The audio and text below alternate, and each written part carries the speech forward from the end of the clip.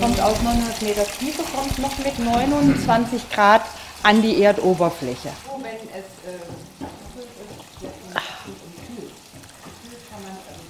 Mein tägliches Mineralwasser wird es nicht, aber wenn es hilft.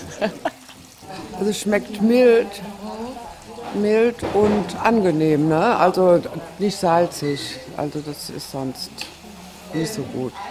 Und am Morgen tut das bestimmt gut. Ich habe gelesen, das ist sehr gesund, Calcium, Natrium, Magnesium und man soll zweimal täglich das trinken. Deswegen habe ich heute zweimal zwei Becher getrunken.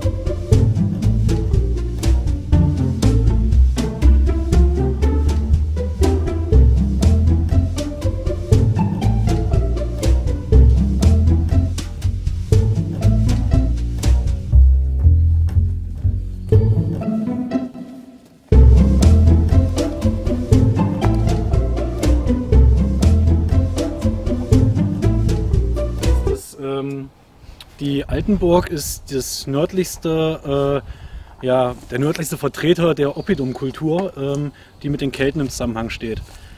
Also Oppidum-Kultur, also deswegen, man ist nicht ganz sicher, ob das hier ein voll ausgeprägtes Oppidum war. Oppidum, Oppidum ist ähm, die äh, befest, also die äh, Städte der Kelten, also Städte, äh, größere Ansiedlungen, die nicht mehr mit nur wenigen hundert Leuten, sondern schon mit Tausenden von Menschen äh, bevölkert waren.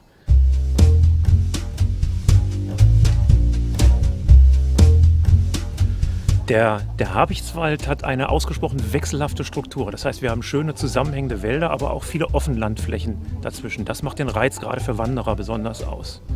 Und das Besondere, das ganz Besondere ist, dass wir ähm, viele alte Vulkankegel haben. Das sind die Basaltkuppen, wie diese, auf der wir jetzt hier gerade stehen, von denen man aus einen fantastischen Blick in den Naturpark hat und auch aus dem Naturpark heraus. Das ist schon besonders.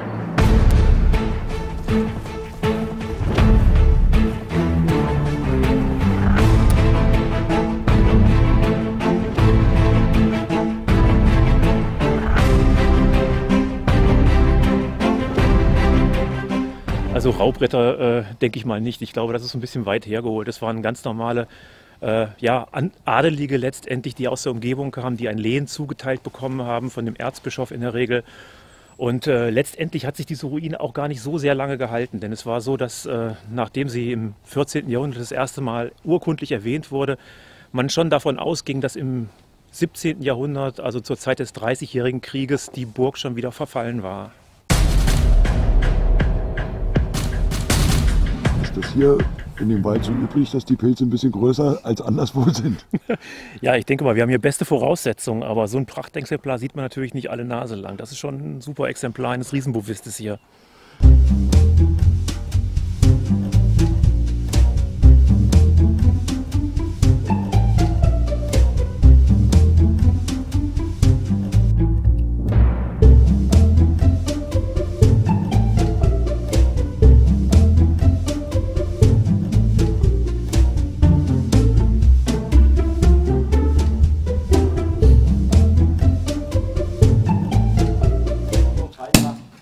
Willkommen heißen. Die sind hier an einer Einrichtung, die ich habe. Ja, doch. Ja, durch die Fahrerei eben ist er etwas geschüttelt natürlich. Wir schenken den Breitenbacher Apfelchampagner aus für unsere wandernden Gäste aus dem südlichen Hessen und aus Mainfranken. kriegst du was Servietten holen.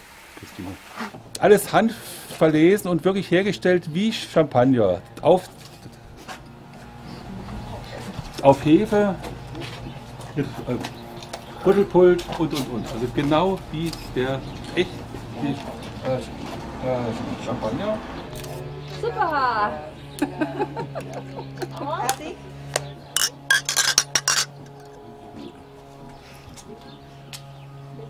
Ganz gut, ja. Also ich bin eigentlich nicht so der Alkoholtrinker, aber da sage ich schon gerne mal ja. Dann hau rein. Petra? Apfel oder Holunder, Wein, mir ist alles recht. Das ist ein richtig guter, eine richtig gute Grundlage, der Apfelwein. Denke ich, spürt man raus und mit der Champagnergärung einfach nochmal ein Stück besser veredelt. Meine Damen und Herren, Sie hörten den Kellermeister. Ja. Im Abgang. Das wurde in den 50er Jahren. Hast du eigentlich ein Lieblingsmärchen? Ein Lieblingsmärchen. Ähm, Hänsel und Gretel. Die laufen durch den Wald, die gehen wandern, haben ein tolles Haus im Wald danach. Und. Warum magst du ein Märchen? Das ist irgendwie äh, so viele, so viele Fantasie und ich mag sehr Fantasie. Hast du ein Lieblingsmärchen?